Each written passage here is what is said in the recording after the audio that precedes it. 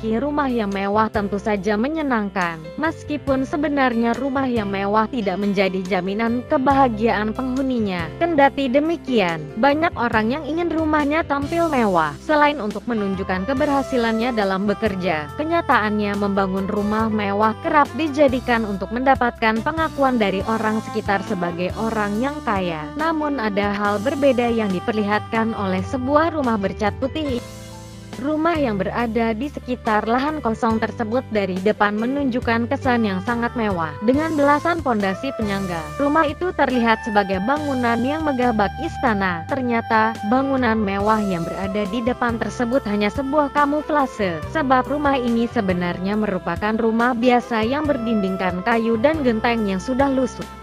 Beberapa pengguna media sosial menyebutnya rumah tersebut berada di Banjarmasin, Kalimantan Selatan, dan rumah tersebut dikenal dengan rumah Abu Nawas. Namun apa pun maksudnya, rumah ini unik dan berhasil menggelitik banyak orang.